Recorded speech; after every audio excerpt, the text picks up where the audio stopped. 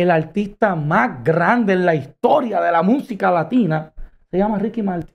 No lo es Bad Bunny todavía. Bad Bunny le hace falta mucho por recorrer. Mm.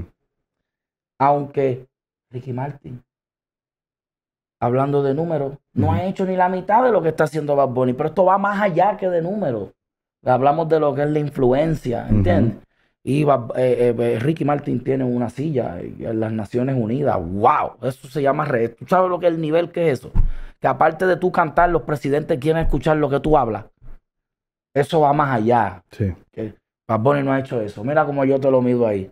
Pero sí, este, Bad Bunny ha llenado los lugares que. Bad Bunny está llenando lugares que no existían cuando Ricky Martin estaba en su, en su pique, en su momento. Claro. Que Ricky Martin no los va a llenar ahora, por más que Ricky Martin, ¿sabes?